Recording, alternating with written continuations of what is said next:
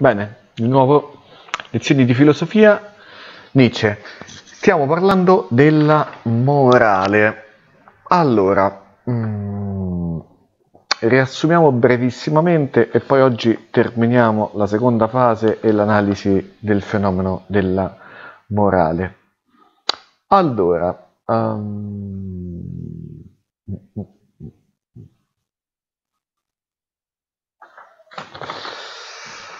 allora, uh, abbiamo detto che la morale è parte integrante della cultura occidentale, è uno dei pilastri della cultura occidentale. Sì, la cultura occidentale è tutta basata su illusioni, su bugie, per così dire, ma all'interno della morale eh, e, e di tutte quante queste bugie il fondamento, la bugia principale, la grande bugia è Dio. Va bene? Ma sono tutte quante illusioni. La morale è una di queste grandi illusioni che si fondano a sua volta sull'idea di Dio e eh, per così dire, secondo Nietzsche, è uno dei fenomeni più interessanti, al pari della religione, la scienza e l'ateismo. Che cos'è la morale? La morale per Nietzsche è una maschera, è per così dire una uh, eh, foglia di fico che l'umanità occidentale indossa perché ha vergogna, paura e noia di sé. Quindi dei sentimenti fortemente negativi verso se stessa, per così dire, generano nell'umanità la necessità di mascherarsi, la necessità di sembrare altro da quello che è. La morale, con i suoi valori, la giustizia, il bene, l'onestà, l'amicizia, l'amore e via dicendo, svolge esattamente questa funzione, svolge cioè la funzione di, per così dire, mascherare, di coprire ciò che l'umanità realmente è. Mm? Quindi la morale è una forma di maschera, è una forma di illusione. Mm? L'uomo quindi, nell'analisi di Nietzsche, è un animale, esattamente come tutti gli altri, ma a differenza degli altri malati, degli altri animali, è storpio, è malato. Guardate che questa cosa è molto interessante. Okay? Nella nostra cultura occidentale, che è la cosa che io vi ho detto da quando abbiamo cominciato a fare filosofia il primo anno, da sempre l'uomo è stato visto come un animale con qualcosa in più per così dire, l'uomo è caratterizzato da un di più, da una maggiorazione rispetto agli altri animali. Questo di più è stato chiamato di volta in volta linguaggio, ragione, eccetera, eccetera, vari nomi, ma sempre nomi che indicavano e caratterizzavano questo di più. Va bene? L'uomo è animale razionale perché ha la ragione a differenza di tutti quanti gli altri animali. Okay? Nell'analisi di Nietzsche, invece, il punto di vista viene completamente ribaltato. L'uomo non è un animale che ha un di più, ma è un animale che ha un di meno, è un animale che ha un difetto congenito, potremmo dire, va bene? Questo difetto congenito adesso, nell'analisi della morale, noi lo vediamo come una deformità, è un animale storpio, un animale malato che potremmo dire che è un animale che zoppica e a forza di zoppicare ha adottato delle abitudini che possano mascherare il fatto che zoppica. Beh, la morale, secondo Nietzsche, è esattamente la maschera che deve coprire questa deformità. Mm? Allora, uh, perché abbiamo i sentimenti morali?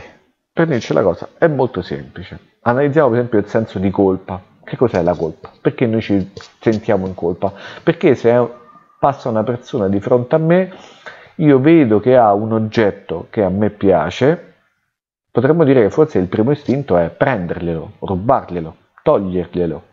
Mm? Beh, molte volte noi siamo, per così dire, dice Nietzsche, bloccati dal prendere quel determinato bene per un senso di colpa. Che cos'è questo sentimento di colpa? Che cos'è questo freno, questo rallentamento della mia pulsione, tra virgolette, naturale? Allora, secondo Nietzsche è un elemento culturale, è un elemento indotto dalla morale. La morale produce in noi il senso di colpa, la morale ha la funzione di produrre questo senso di colpa in noi, tra le altre cose, va bene? Ora, il senso di colpa, al pari di tanti altri sentimenti di carattere morale, per così dire, sono generati in noi artificialmente, sono indotti perché sono uno strumento di dominio. Cioè noi per essere dominati siamo indotti culturalmente a provare determinati sentimenti morali. La morale, cioè, ovvero sia, non è connaturata all'uomo in quanto tale, la morale è indotta nell'uomo ed è indotta perché l'uomo possa essere dominato. La morale quindi è uno strumento di dominio per Nietzsche che serve a rassicurare, serve a tranquillizzare. Attenzione, tutta la cultura occidentale ha un unico fine, la rassicurazione, la tranquillizzazione. Quindi, di fronte all'insensatezza, al caos e l'irrazionalità dell'esistenza, la morale, al pari della scienza, della metafisica e di tutte quante le altre articolazioni della cultura occidentale, svolge la funzione di tranquillizzare, di rassicurare.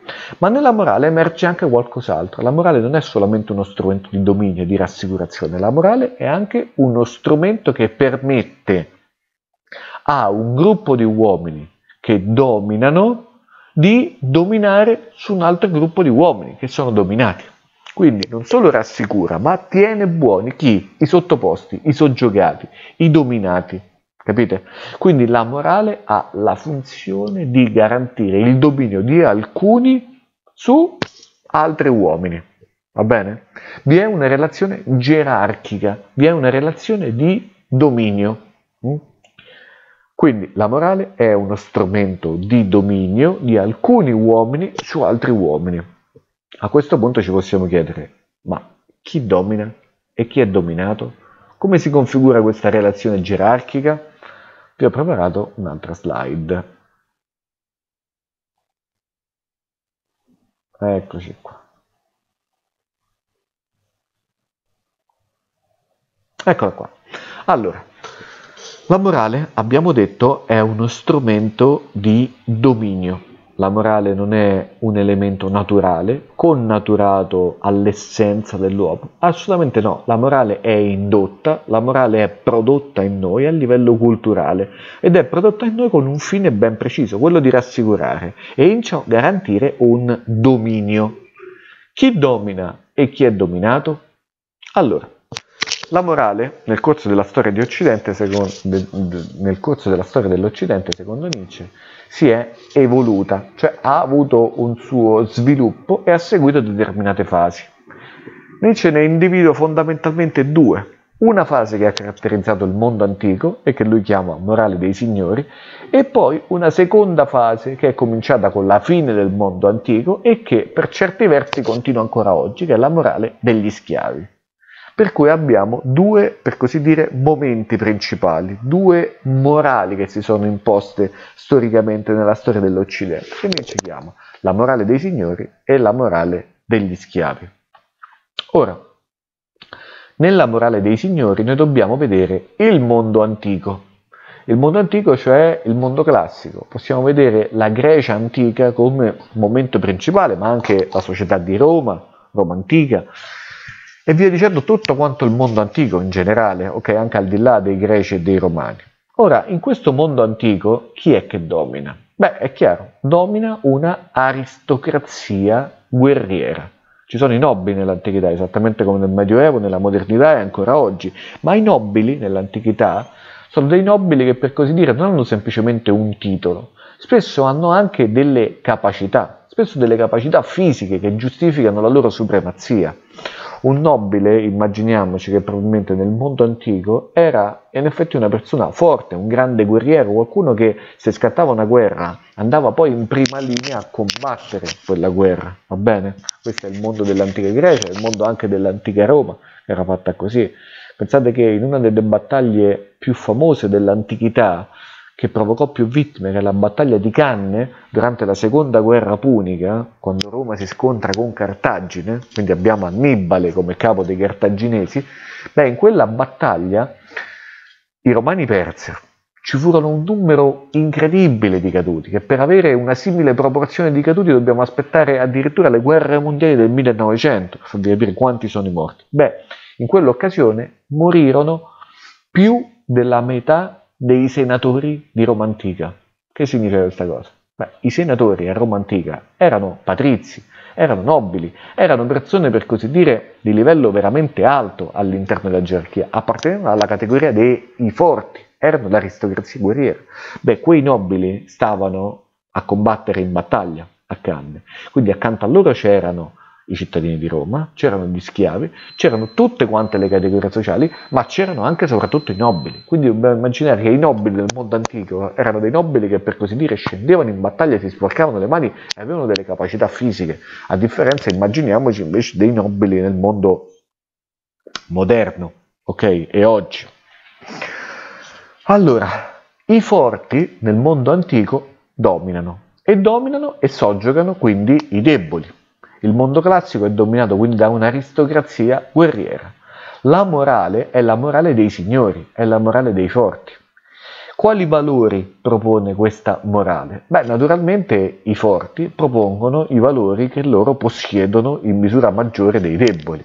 Quindi i valori sono la forza, la salute, la gioia, la fierezza, seguite? Quindi il comportamento moralmente accettato all'epoca è il comportamento che è connotato dai valori dell'elite dominante. È chiaro? Ora, a un certo punto il mondo antico finisce. Perché?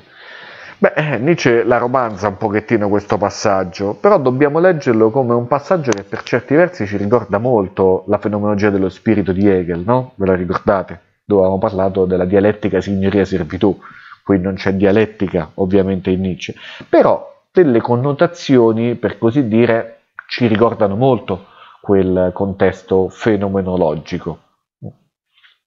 A un certo punto, per così dire, i deboli, che sono tanti, a differenza dei forti, che sono pochi, fieri, forti, ma pochi, i deboli piano piano cominciano ad organizzarsi.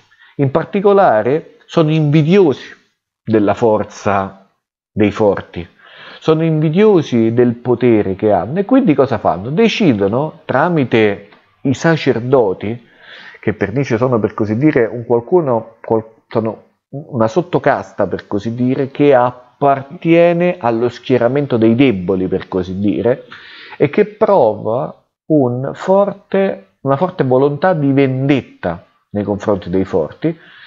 Allora, i sacerdoti, come per così dire, rappresentanti dei deboli, cominciano piano piano ad inquinare lo spirito dei forti, li cominciano a far credere che in realtà quella che loro ritengono forza sia debolezza, quella che loro ritengono salute sia malattia. Ora, quindi la religione è lo strumento che viene utilizzato per inquinare, per così dire, il dominio, per mettere in dubbio questo dominio.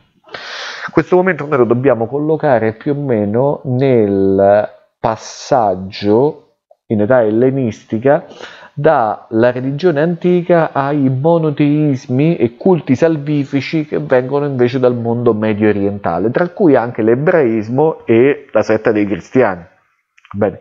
Quindi piano piano si cominciano a imporre queste nuove religioni e queste nuove religioni propongono dei valori alternativi, dei valori diciamo opposti rispetto a quelli dei forti. I valori quali sono?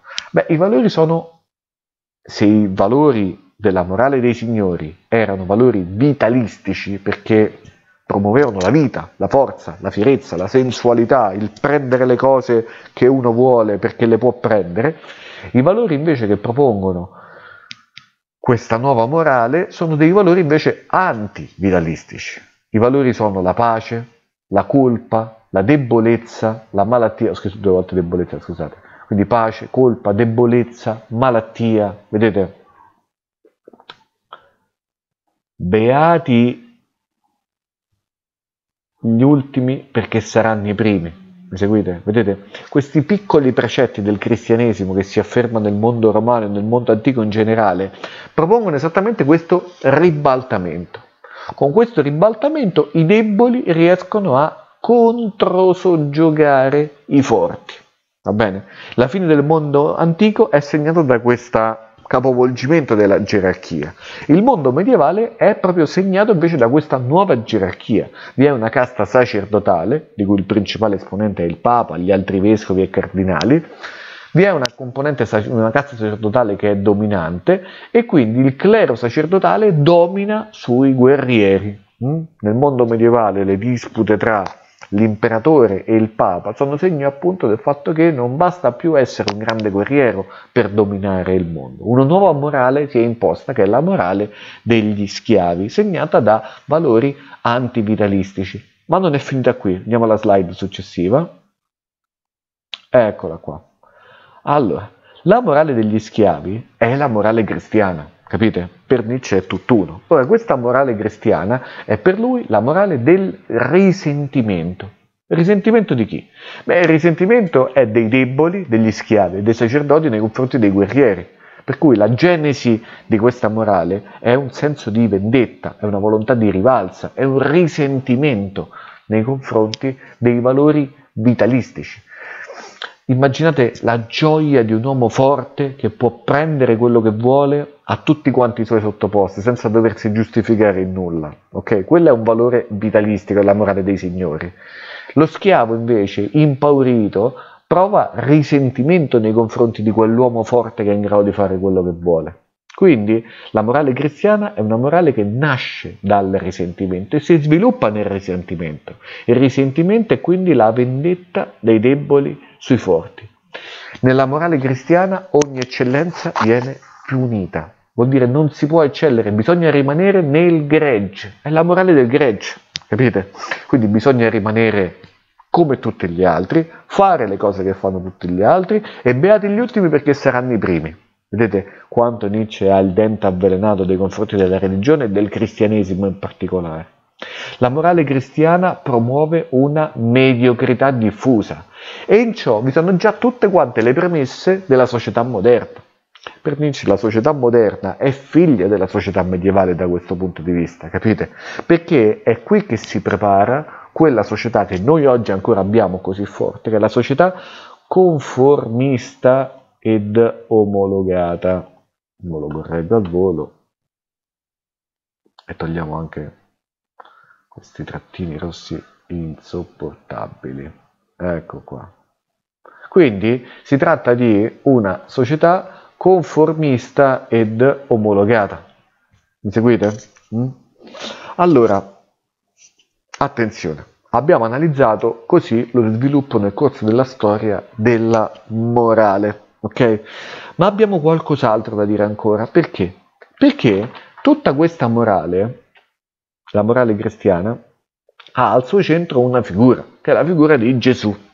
Beh, il parere di Nietzsche su Gesù è diverso, cioè mentre vi è una sorta di esplicita condanna di tutta quanta la morale del risentimento, che è la morale cristiana, Gesù invece è giudicato in modo completamente differente. Gesù è definito da Nietzsche un santo anarchico.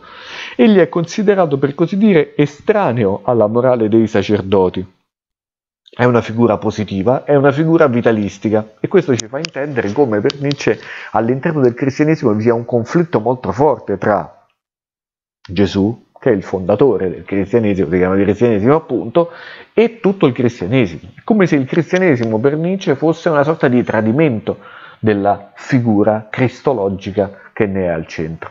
Non posso approfondirla ulteriormente questa cosa, ma sarebbe molto molto interessante. Ora, tutto questo arriva fino alla modernità, ai giorni nostri. E nella modernità si consuma l'evento decisivo, cioè la morte di Dio. È sempre di questo che stiamo parlando in questa seconda fase, ok? La morte di Dio che cos'è? La morte di Dio è, per così dire, la fine delle cose come sono andate fino adesso. Mm? Poi è altra questione che l'umanità occidentale non voglia prendere coscienza di questo avvenimento e voglia continuare ad andare avanti come se nulla fosse, ma la morte di Dio è avvenuta. E siccome la morte di Dio è avvenuta, emerge per la prima volta il fondamento di tutta questa costruzione plurisecolare che è la morale. Emerge cioè il nichilismo. Il nichilismo che cos'è? Il nichilismo, ripetiamolo, è il fondo soggiacente che appartiene all'uomo in quanto tale. È chiaro? È la malattia dell'uomo, è la sua deformità, è la sua minorità. La morale in realtà, al pari della religione e dell'ateismo, è una reazione a questa malattia, è una reazione a questa deformità. Va bene? E con il nichilismo che cosa emerge quando il nichilismo diventa chiaro come tale? Emerge che dietro i valori non c'era nulla. Questa pretesa eternità, questo preteso elemento stabile, indiscutibile, in realtà è una menzogna. Il nichilismo per la prima volta svela la morale per quello che è, la denuda, per così dire. E finalmente noi vediamo la morale per quello che vi ho detto fino ad ora, cioè come semplicemente uno strumento di dominio. Vi è una classe che domina e vi è una classe che è dominata. Okay? E la morale è semplicemente uno strumento non eterno, non fisso, non dettato da Dio, non dettato da una natura umana in quanto tale, ma è semplicemente uno strumento di dominio. Per cui Nietzsche ci dice perché proviamo questi sentimenti morali dentro di noi? Proviamo questi sentimenti morali semplicemente perché sono indotti dalla nostra società e sono strumentali a tenerci buoni, a tenerci tranquilli. Un uomo senza sentimenti morali è un uomo incontrollabile e quindi il potere coloro che dominano non hanno interesse che gli uomini siano privi di queste briglie, di questi sentimenti morali. Va bene? Ora, la domanda è sempre questa. È l'uomo pronto per accettare la morte di Dio, ovvero in termini morali? È l'uomo pronto per accettare il fondo nichilistico di tutti i suoi sentimenti morali? È l'uomo pronto a condurre una vita priva di sentimenti morali? Che razza di uomo ne uscirebbe fuori da questa configurazione, da questo quadro? L'uomo oggi non è pronto, questa è la risposta. Perché? Perché l'uomo non è pronto a prendere coscienza della morte di Dio, va bene? L'uomo non è pronto, per così dire, a comportarsi nella propria vita senza avere dei sentimenti morali che lo imbrillino, va bene? L'uomo non è pronto, probabilmente chi verrà dopo l'uomo, una figura successiva, una figura che sostituirà l'uomo, sarà pronta a condurre la propria vita in questo modo. Ma per arrivare a questa figura dobbiamo superare il secondo periodo della filosofia di Nietzsche e avventurarci nel terzo e ultimo. Va bene? La prossima lezione faremo il fanciullo, cioè la terza tappa della filosofia di Nietzsche. Per adesso studiate fino a pagina 182. Buono studio.